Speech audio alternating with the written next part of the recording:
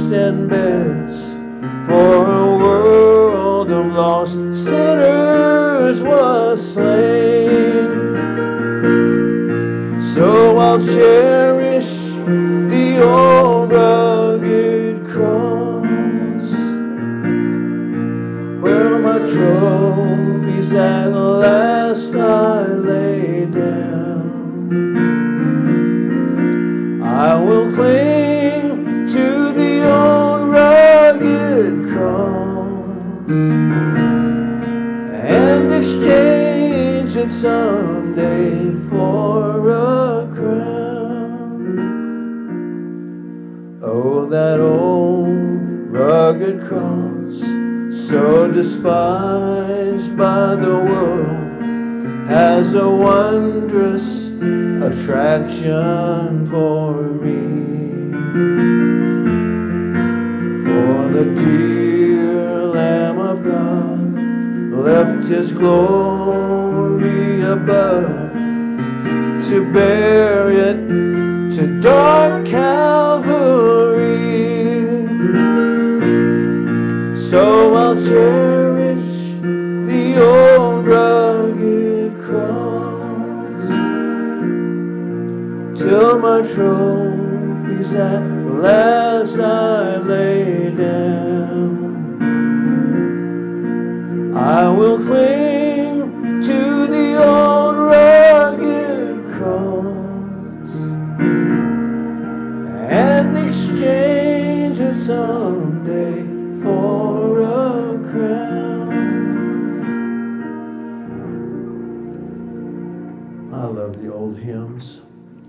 And this is my all time favorite hymn. And it really speaks to my heart because what a friend we have in Jesus. He's the best friend anybody could have.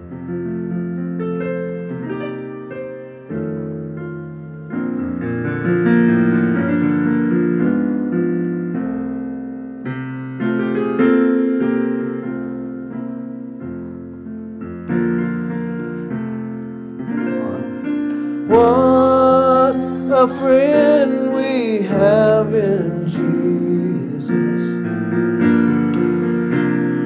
All our sins and griefs to bear.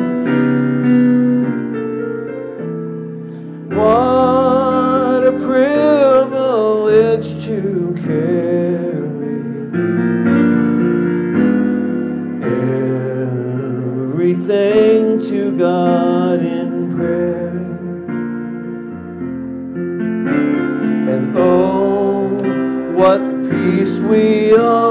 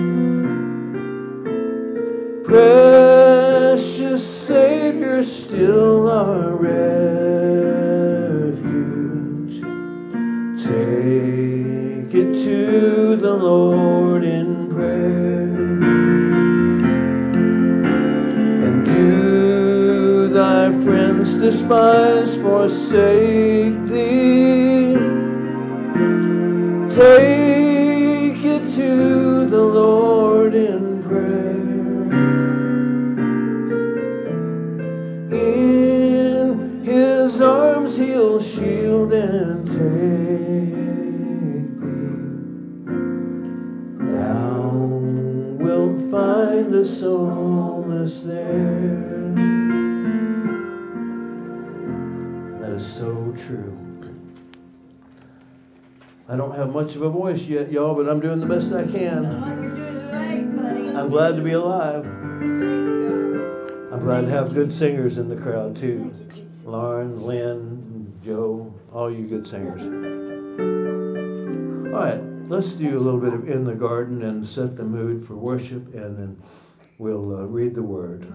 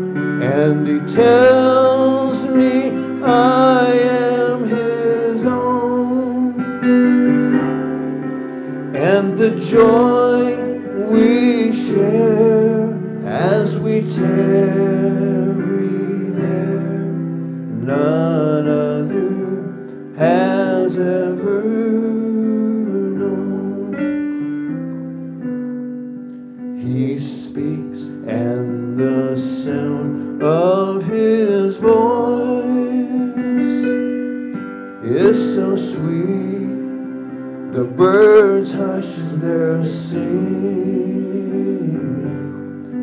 and the melody that he gave.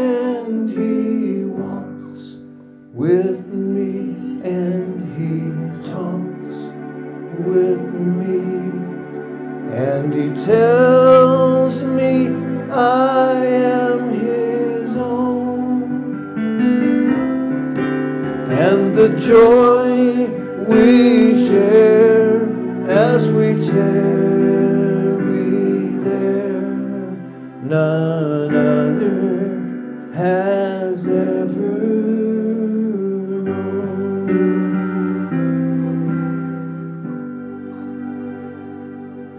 Thank you, Lord, for allowing us to sing your praises. We lift you up, Lord. You are so worthy to be praised. Father God, we just thank you for a beautiful day. You have blessed us so tremendously, Lord.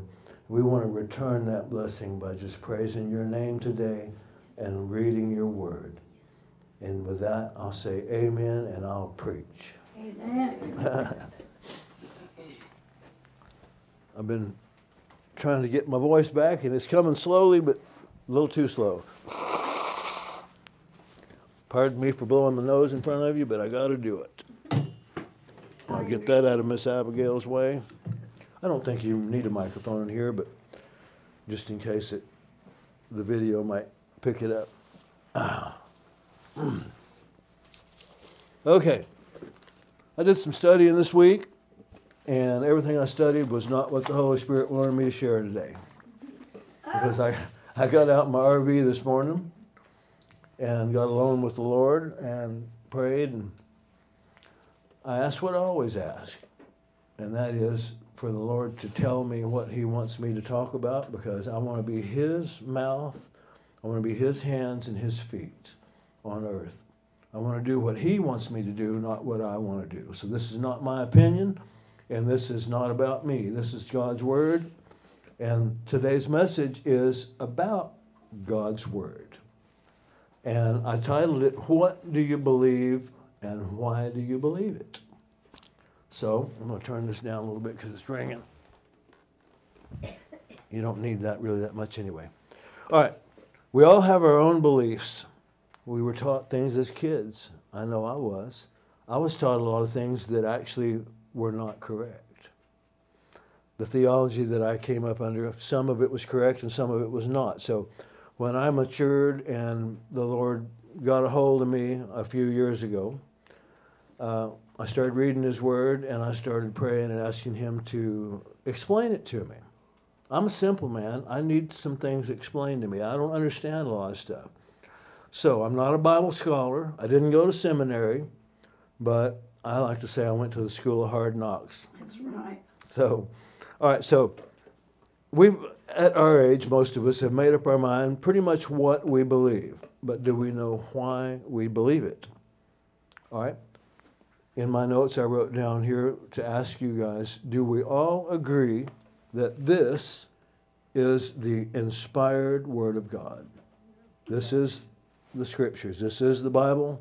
It is the NIV version. I like to refer to the King James to make sure that things line up. But pretty much the NIV is, is easier for me to understand because I'm a simple person. So, if we agree that the Holy Spirit breathed every letter and syllable in the Scriptures, which I believe that. If you don't believe it, I hope you'll come to believe it. So that's basically the foundation of my question to you today about what you believe and why do you believe it. And I've often heard, and I don't remember who said this, it's probably a famous preacher, but he would, he would say, God said it, and I believe it. Okay? He said a lot of things that I didn't agree with, and I ran from and rebelled against, and I've learned not to do that in my old age. If it's in God's Word, whether it's my, it's not my opinion, we have people that, um, churches nowadays, that preach basic heresy. And I'm not picking on other churches, but I, I sat under a lot of heresy in my life and learned a lot of wrong things. So I've had to do what I'm going to tell you guys to do today, and that is turn to God's Word, read it verbatim, think about it, ask the Holy Spirit, Lord, what do you want me to understand? What do you want me to get out of this? There are different interpretations, but I want the Holy Spirit's interpretation. All right, I'm not a theologian, I'm a fairly new preacher, and I'll admit that I have much to learn. So I'm going to flip over here. I'm going to get to some scriptures here in just a minute after I get through my little preface. All right, how do we know what is truth and what is not if we don't know God's Word? I'm guilty of not knowing what the truth was about some pretty serious issues in life because I did not go and read this for myself. I took somebody else's word for it. So, and that's another reason I like to sing the hymns because they have such a uh, such meat on the bone. What you're singing about is theologically good and it's wholesome, and it, it lifts up our Lord. A lot of the praise and worship songs nowadays don't do that. It's all about the people on stage and and uh, how good they can sing. And, and I freely admit that I don't sing good, but that's not why I'm here. All right, so do you take time to actually read it for yourself and try to understand it? People say, well, God doesn't speak to me. Well, sure, He does. Maybe not audibly out loud, but He speaks to you every time you read this book.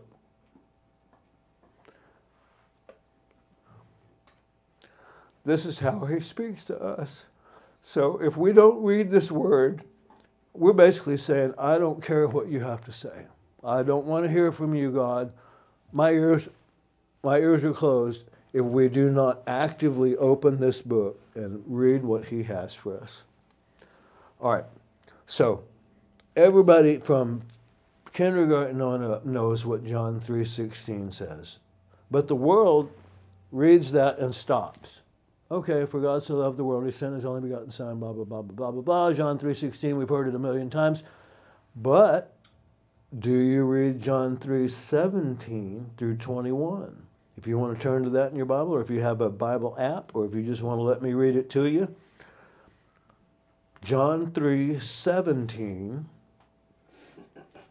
I'm going to start at 17 because we all know what 16 says.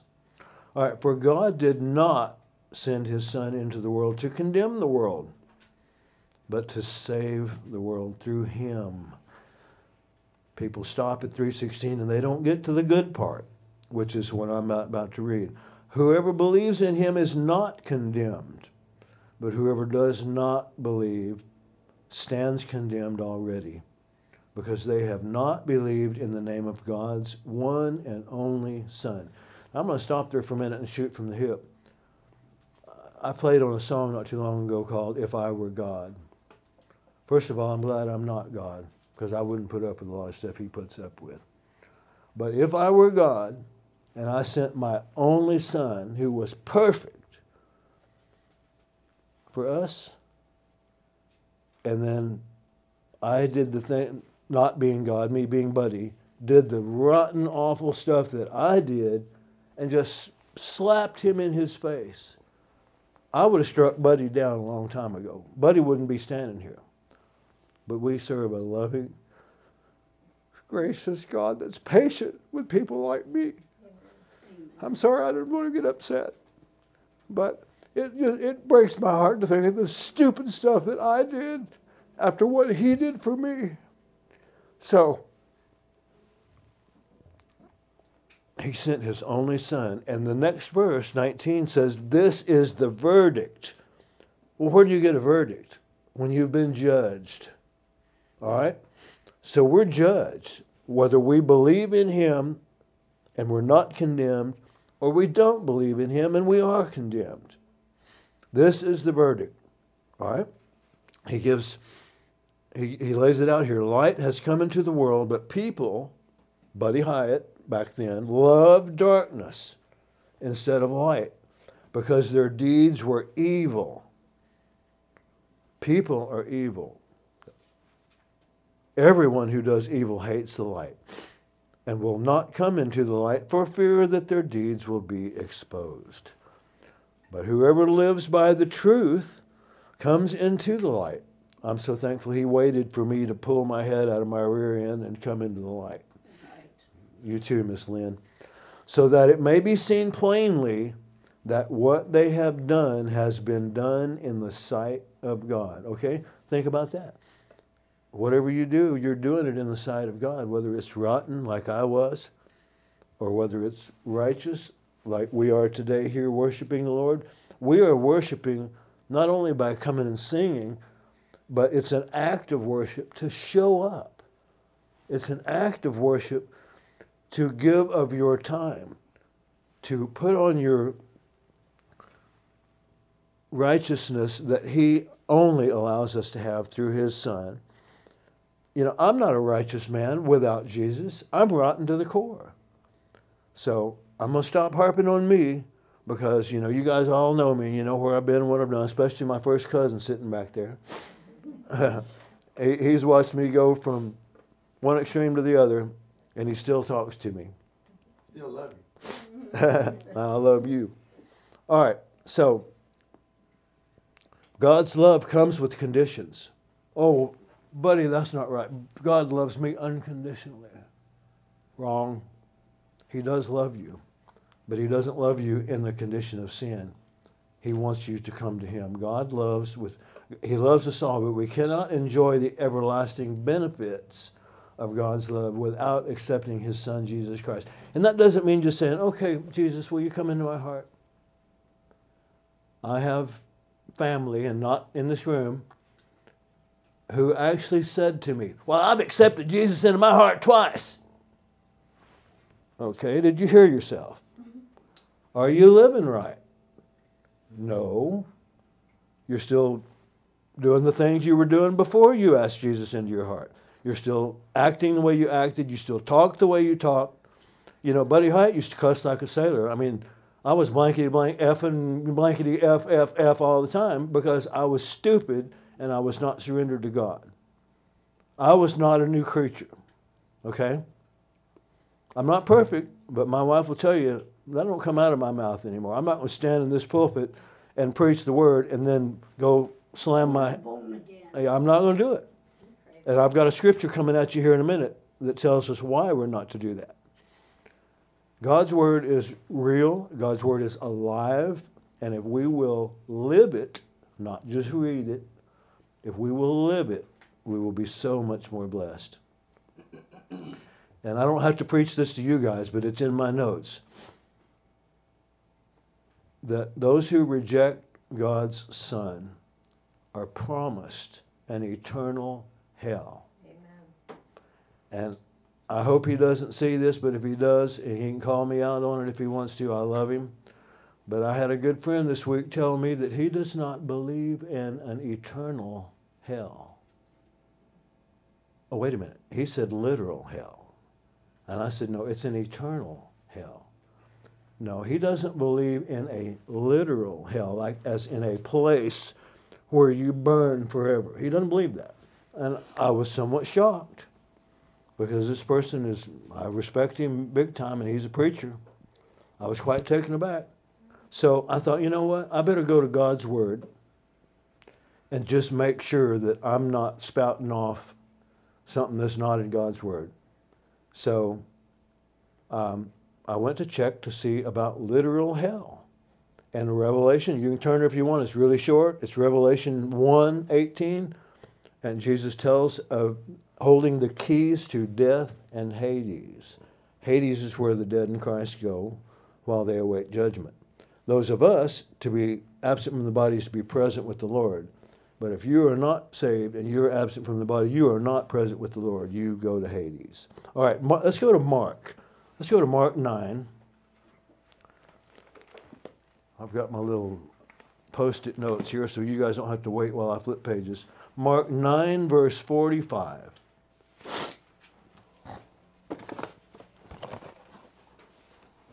I guess I'm going to, I went from being the cussing preacher to being the weeping preacher. That's. Yeah, That's the Holy Spirit. yeah it sure is. And I'm thankful for that. I'm thankful that the Holy Spirit got my attention. good. All right, Mark 9 45. And if your foot causes you to stumble, cut it off. It is better for you to enter life crippled than to have two feet and to be thrown into hell. Now, what does that say to you? That's a place. Yeah. Hell is a place. You're not going to be thrown into uh, not existing anymore, where you're just you're just gone. And it says also here, this backs it up. And if your eye causes you to stumble, pluck it out. It's better for you to enter the kingdom of God with one eye than to have two eyes and be thrown into hell, where the worms that eat them do not die. Here, here's the good part.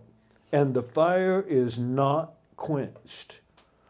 That don't sound like much fun to me. So my friend that doesn't believe in a literal hell must have skipped this verse. And it goes on in 49, it says, Everyone will be salted with fire. All right. So I'm afraid he's a little bit misaligned there. And he may call me and say, Buddy, that's not what I meant. But I sure thought that's what he meant. All right, let's go to Matthew chapter 10, verse 28. Matthew 10, verse 28. And this is me digging in here going, hey, wait a minute. You know, I need to make sure that I didn't pop off in a recording studio in front of a bunch of people and, and shoot my mouth off and not know what I'm talking about. But I know there's a hell and I know there's a heaven. And I asked this gentleman, I said, if there's no hell, why did Jesus die on the cross? He said, forget the Old Testament. Oh, uh, okay. Well, no, thank you. And this is in my notes, uh, and I probably will jump ahead of myself. But without the Old Testament, how do we know about the wrath of God? And why should we want to be holy if there's no hell? I do what I want to do. There's no consequence. I can be as rotten as I used to be running around the world with a rock and roll band, you know, not accountable to anybody. I was accountable to God, I just didn't know it. All right, Matthew 10, verse 28. Make sure I'm on the right page. Yes, I am. Do not be afraid of those who kill the body, but cannot kill the soul. Rather, be afraid of the one who can destroy both soul and body in hell. Are not two sparrows sold for a penny? Yet not one of them will fall to the ground without outside of, outside of your Father's care. And even the very hairs on your head, there's quite a few of them gone by now, even the very hairs of your head are all numbered. So don't be afraid, you are worth much more than sparrows. Whoever acknowledges me before others, I will acknowledge before my Father in heaven. But whoever disowns me before others, I will disown before my Father in heaven. Do not suppose that I have come to bring peace to the earth. I did not come to bring peace, but a sword. All right? All these dysfunctional families, here's a good explanation. For I have come to turn a man against his father, a daughter against her mother, a daughter in law against her mother in law. A man's enemies will be the members of his own household. All right? I'm going to go on and read a little more here. Anyone who loves their father or mother more than me is not worthy of me. Now, I'm fixing to get in that motorhome out there and go to California with my cousin and his beautiful wife, Lisa, to visit my mom and dad, his aunt and uncle. And I love them. And I know you love your mom and dad. I don't think he's talking about not loving them, but we had better put him first and foremost over anybody over your mom, your brother, your sister, your kids, anybody. All right, anyone who loves their son or daughter more than me is not worthy of me. That's a pretty strong statement right there. Whoever does not take up their cross and follow me is not worthy of me. Whoever finds their life will lose it, and whoever loses their life will find it. So I said all that to say he's given us instruction that if we are true Christians and we do not want to go to hell, which none of us are, I'm sure, in this room, I, I, feel confident saying that, this is how we have to live. This is how we have to think. This is how we have to feel. It's hard for me to think about not loving my mom and dad or not loving my kids. I do love them. But I let him know every day that I love him first and foremost. So I wrote in my notes the lesson here is to be careful who and what you love if you love them more than Jesus. God is a jealous God, and He very well may take away whatever it is that is taking your attention off of Him. So I'll put the spotlight on me again. I used to sing for a living. God allowed me to go through throat cancer. He spared me, He saved my life and called me to preach again. And I finally said, Yes, Lord, I'll do what you say. If it's to 15 people, if it's we've had as little as what, four people show up, I still preach. If it's four people, 15 people, if it gets to 50 people, we'll finish out the other side of this building, if that's the Lord's will. It ain't about numbers, it's about worshiping Him. All right, so I'm, I'm not pointing this at you, Angela. Angela's mom is sick, and we're praying for her, and we're believing for her healing. But if you have a sick loved one and you're praying for, that's well and good. If it's His will to heal them here on earth, He will. But if that person is more precious to you than He is, beware. Your job, if your job is more important to you than worshiping Him, beware. I'm just pointing out a few things that were more important to me than God for a long time and I had to smack myself upside the head. If your kids are more important to you than spending time in prayer and worshiping the Father, beware. Bottom line, and this is my message in a crux, and I've got a few more pages here of, of little notes and a few scriptures. Bottom line here is read your Bible. I went to church for a long time. I never took my Bible with me. Never read it. I just watched the screen. Oh, they're going to put the scriptures on the screen. So I don't need my Bible. What I needed my Bible. This is my sword. When somebody says to me, "Forget the Old Testament," your armor. Uh, excuse me. Somebody says to me, "There's there's no literal hell." Uh, that's not what God's word says. It's it's all right here. I mean, I didn't write this book, so this is minor, and it's not a big deal. But all this time, I've been ignorant to so many things in the Bible. And one, I pointed this out maybe a couple weeks ago. I've been saying the Lord's Prayer wrong all my life. I've been reading it just as it is, and at the end of it, every time, I thought it said in the Bible, for, for thine is the power, the, uh, the kingdom, the power, and the glory forever. And of course, Thine is the kingdom and the power and the glory forever, but it's not, that's not in the scripture. It ends with, uh, you know, Our Father who art in heaven, hallowed be thy name. Thy kingdom come, thy will be done on earth as it is in heaven. Give us this day our daily bread and forgive us our trespasses as we forgive those who trespass against us. And deliver us from the evil one. Lead us not into temptation, but deliver us from the evil one. I always heard it was, lead us not into temptation, and deliver us from evil, for thine is the power of the kingdom and the glory forever. That's not what my Bible says. So the correct way is end with, deliver us from the evil one. So, little stupid things that I was doing that were not scriptural.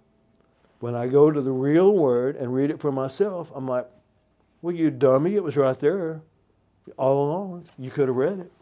All right, let me go on.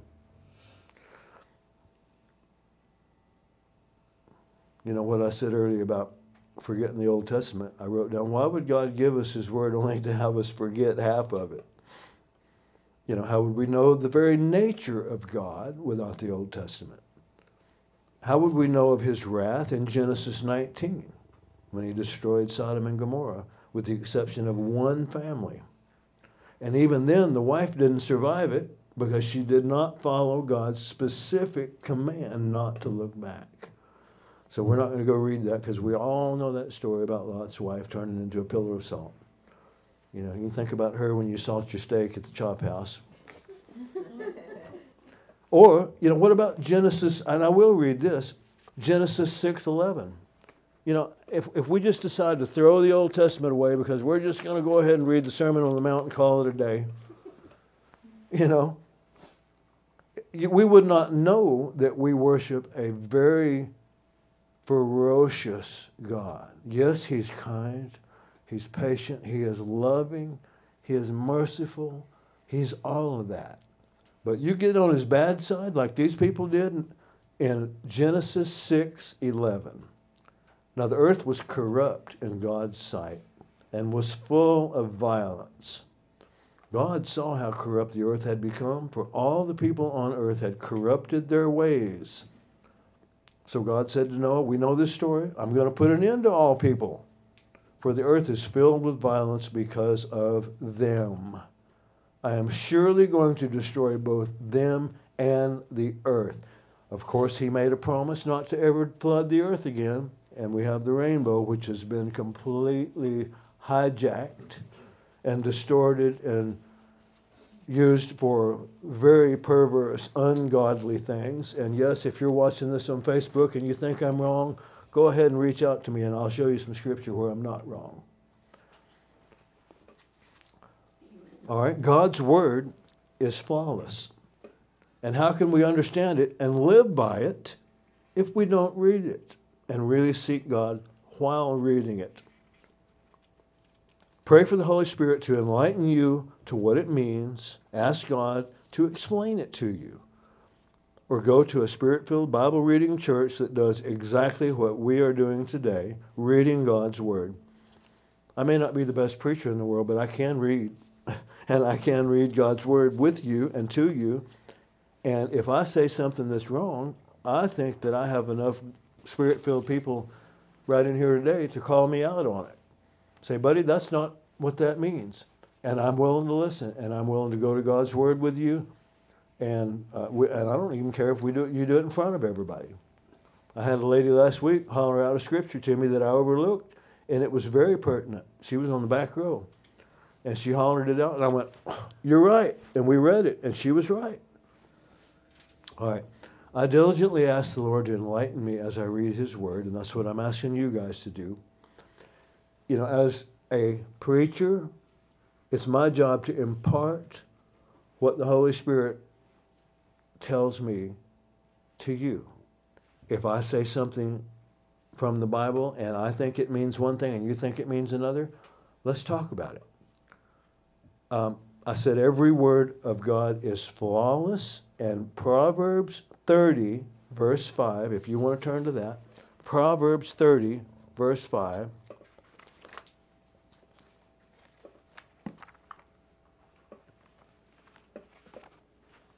Now, I did not put myself a little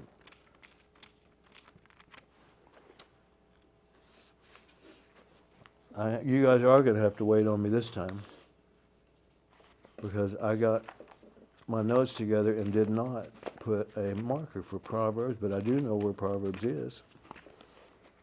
Proverbs 30, verse 5. Come on, bud. Really? Ah, there it is. All right. God's word is flawless. Every word of God is flawless. He is a shield to those who take refuge in him. And this is the important part. Do not add to his words. And that's what I was doing accidentally with the Lord's Prayer, but I wasn't doing it maliciously. Do not add to his words, or he will rebuke you and prove you a liar. So that's pretty straight up. That's verse 5 and 6, not just verse 5. And I don't need to read any more of that. That tells it straight up that don't add to his word, don't take away from it. Read it, meditate on it, pray about it, ask him to uh, enlighten you as to what it means. All right, Deuteronomy 12 32, and you can turn to that if you want to, but I wrote it out here. It says, See that you do all I command you. Do not add to it or take away from it. All right, so if God tells you something to do, do that. Don't try to help him do it. You do what he says to do. All right, I've got another scripture here, and I did actually write this one out too. But in Matthew, if you want to turn to Matthew 7 15. And I'm going to harp a little bit here, but I'm going to use the Bible to do it. Watch out for false prophets. They come to you in sheep's clothing, but inwardly they are ferocious wolves. There are many false prophets in the world today, and that's my words, not God's word. And Matthew 24 11 also talks about that. It says, And many false prophets will appear and deceive many people. I'm going kind of quick through these because they're short little snippets that prove that every preacher that you see on TV is not telling you the truth. I'm not going to call names, but I think you all know who I'm talking about, and there's quite a few of them. All right, Matthew 13 22 is, is another example of this. For false messiahs and false prophets will appear and perform songs and signs, excuse me, songs, signs and wonders. I said I could read. Perform signs and wonders to deceive, if possible, even the elect. Now, who's the elect? That's us. We're the elect. Are we going to let these people deceive us by not being in God's Word daily or weekly or as often as we can? I was deceived. I admit it. I was stupid. I listened to bad preaching. I listened to bad theology. And, you know, I've had people ask me, what, what's your theology? I said, it's right here. It ain't my theology. If it ain't here, I'm not going to preach on it. I'm not going to talk about it. I had a good friend of mine come over here and sing the other day, and we're on opposite sides of the political spectrum because I used to sling a bunch of political garbage on Facebook, and he he probably blocked me, but we're still good friends. And he came, and I gave him a big hug. He gave me a big hug. I ain't seen him in probably a year. And he said, "How you doing?" I said, "I'm great. I'm doing fine." I said, "You know, I just want you to know I'm I'm preaching now." He, what? I said, Yeah, the Lord's called me to preach. He's thinking all these posts that I used to post that were not exactly appropriate. And I said, Dude, nobody cares about my political opinion. And especially nobody that comes to this church. They care about the Word of God. They don't care what I think or who I voted for or who I'm going to vote for.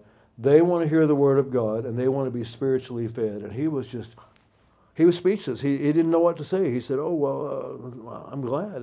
He didn't say "Praise the Lord" because I don't know if he's a Christian or not.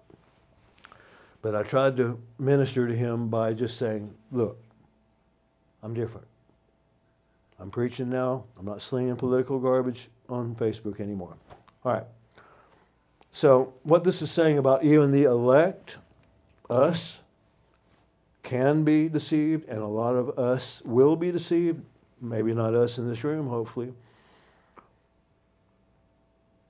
That scripture says it plainly that, that the false messiahs are going to perform signs and wonders, and we're going to be going, oh, wow, is that, is that, is it you, Lord? Uh, no, wait a minute.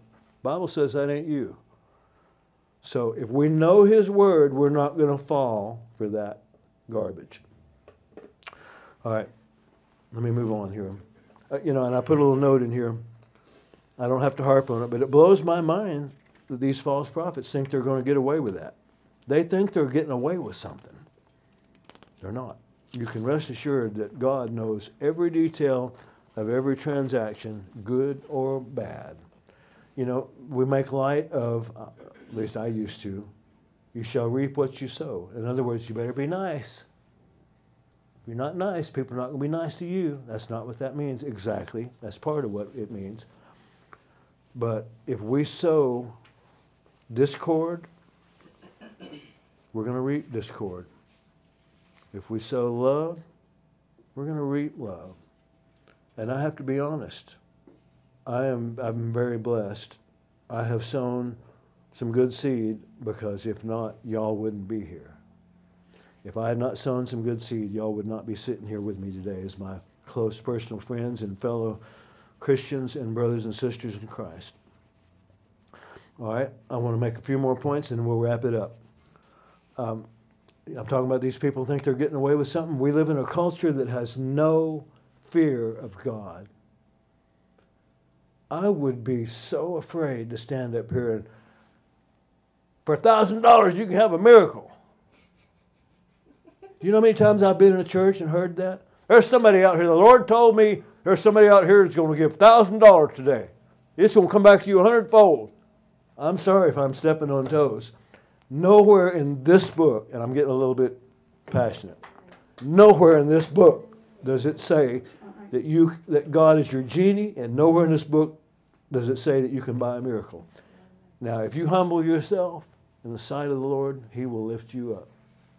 You need healing, you need a miracle, you get on your face before Him. You get on your knees in private.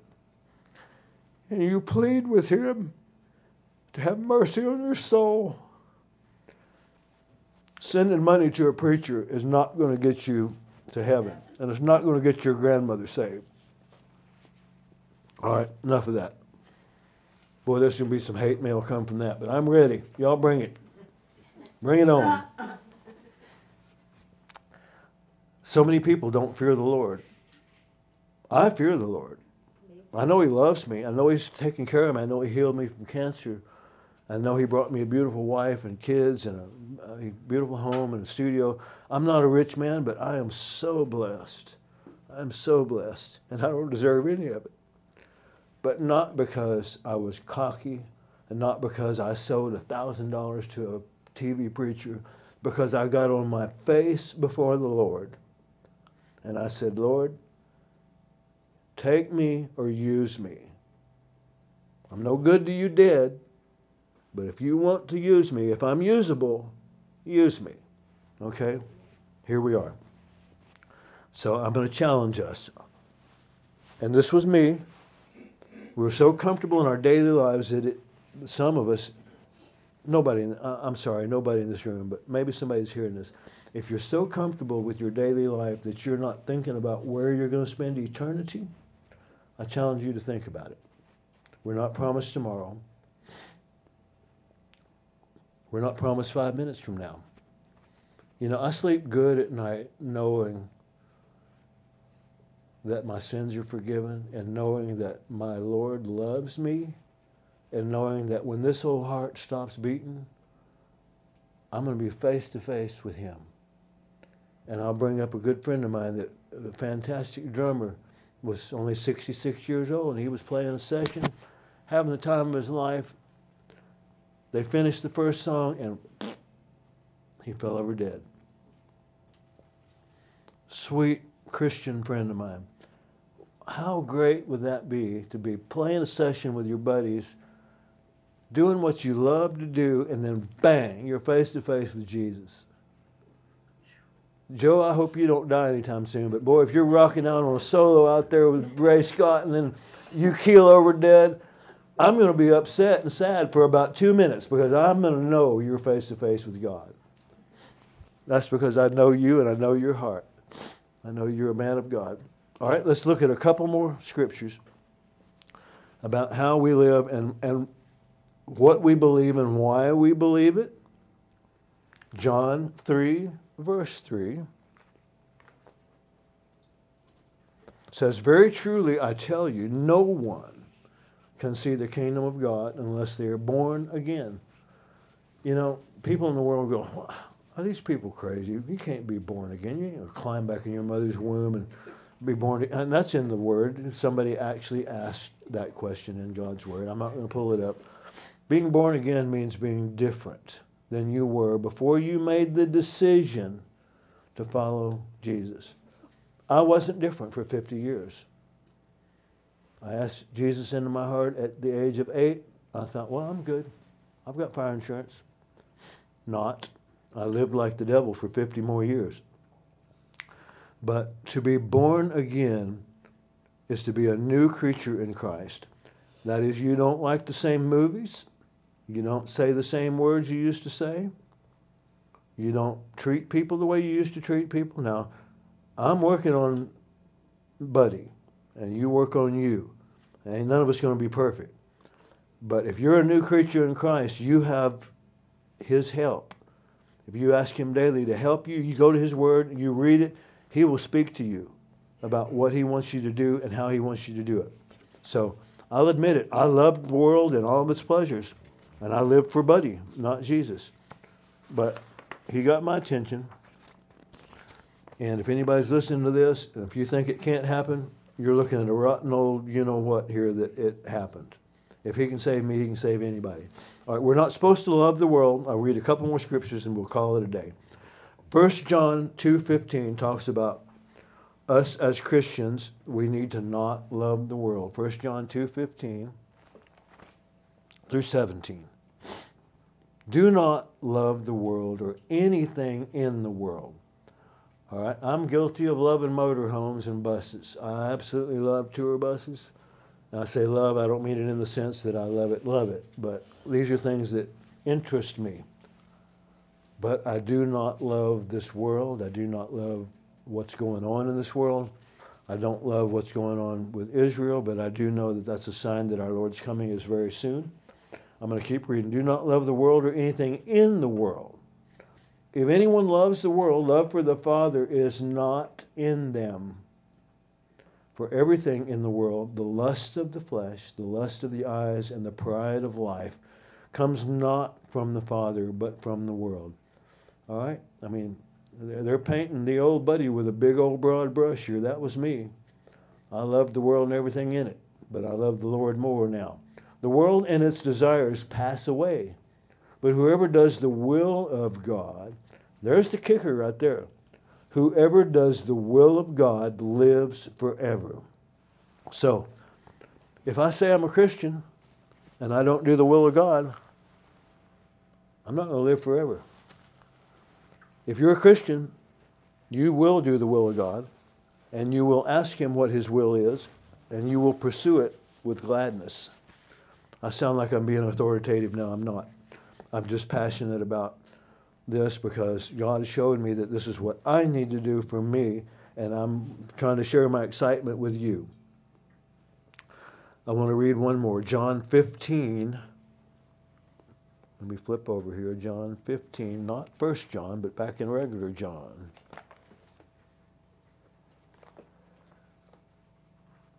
Says, if you belong to the world, it would love you as its own. And I experienced that running around with a rock and roll band. There I was the life of the party. I told all the raunchiest jokes. Uh, you know, I made everybody laugh, and I, I, you know, I was loved by the world. But as it is, you do not belong to the world, but I have chosen you out of the world, and thank the Lord He did. I'm so thankful that He chose us out of the world to be His. How terrible would it be to get to Judgment Day and have Him say, Depart from me, for I never knew you? There is no turning back from that, folks. So, it explains in John 15, 19 that we don't belong to the world. He chose us out of the world, and that's why the world hates us, because it hated Him. It hated Him, and it's going to hate us. So, get ready. We're in the end times. I'm not a fire and brimstone preacher, but I'll tell you right now, if we go to lunch after, after a while and that sky splits open, I'm not going to be surprised. Dark and light don't mix, y'all. So I'm going to wrap up with this. You and me are the temple of God. This building is not a church. We are the church. Our bodies our mind, our soul. The Holy Spirit dwells within me and you. But you know what I just said? Dark and light don't mix. The Holy Spirit cannot and will not coexist with sin. So if we are actively doing something we know is wrong, don't be surprised when the Holy Spirit leaves you. You go to pray and you don't hear anything and you don't feel you feel like it's bouncing off the ceiling. If you're actively in sin, it probably is bouncing off the ceiling. And I'm using that as a metaphor. Sorry if that's not biblically correct, but the Holy Spirit, it is biblically correct that dark and light do not mix, and the Holy Spirit will not coexist with sin. So I hope this is, has been encouraging for you guys. Um, I hope that you will seek the Lord in His Word. I hope that you'll read it often. I hope that you, if you don't understand it, if it's boring to you, I hope that you'll get some uh, study resource material online that'll help explain it, or call me or text me. I, I don't know everything, but I'll go to the Word with you. I'll get together with you if you want to meet. I'll sit down with you, maybe Xander and I. If we have questions, we'll get together at the recording studio and we'll banter back and forth about what do you think this means? Well, I think God says this. Here's what His Word says. So, enough of that. I love y'all, and I hope you'll read your Bible. I hope you read it often. Uh, I will, before I pray for a few people that need healing, and we join together as the body of Christ to pray together, I will say that we won't have church now for the next three weeks because I'm trying to talk Angela and Ollie into going with me to California. So I have to go and help my elderly parents um, and uh, make some arrangements for them. And uh, I apologize as your pastor if that's what you want me to be. I will be. I hope that in three weeks we can reconvene. I hope you guys will stay in touch with me. I think I have everybody's number in here. I know I do. I hope we'll stay in touch. And if you guys want to come back, I'd love to have you come back. Uh, I believe, I don't know what date that'll be, but I'm gone until the May 20th.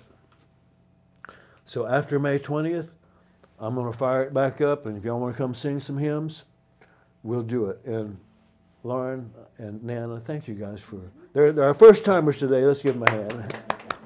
I've known them a long time. They're super sweet people, and I love them to pieces. So, um, let's uh, let's go ahead and pray and close the service and pray for some folks that need prayer. And if you have a prayer request, don't hesitate to holler it out. Don't be embarrassed because we will pray together. Where two or more are gathered, there I am also. That's what God's word says. So, dear Lord, Father God, we come to you right now. And we thank you for allowing us to come to you. We thank you for listening when we pray and hearing our grievances, our requests, but also, Lord, hear our praise. We praise you first and foremost. We lift you up. We honor you before we ask for you to help us with what we need help with. So, Lord, right now we honor you and we praise your holy name. We want to bring some people before you, Lord. I know that you already know these people and I know you know what they need, but we want to come to you as a corporate body of Christ and ask for healing. We ask for healing for Lisa Fisher. Lord, I know you're healing her. She's up and walking around. She's doing better. But Lord, uh, we ask you to just do a miracle in her life. We ask you to heal her. The blood. Yes, ma'am. I pray for John and Carol this morning for healing and for their ministry, Lord. Pray that you'll get their ministry back on track when they get healed, where they can go back to do the, the work in the church that they did for so many years that they can't do now as they heal. Lord, heal them so they can get back to work for you. I pray for Patrick and his wife and kids to come to know the Lord. We pray that you would send someone into their path that would introduce them to Jesus and that they would fall in love with you as we have. We pray the Lord's hand of protection on our trip to California. I pray for uh, our decision making as we go and as we travel, Lord, keep us safe. And Lord, I pray for each and every person in this room today that if they have a health need, a financial need, uh, just a spiritual need, Lord, if, if there's a decision that they're trying to make, that you would make it clear to them how to make that decision. Lord, just make yourself real and known to us as you always do. And we thank you for that. In Jesus' holy name we pray. Amen and amen. Amen.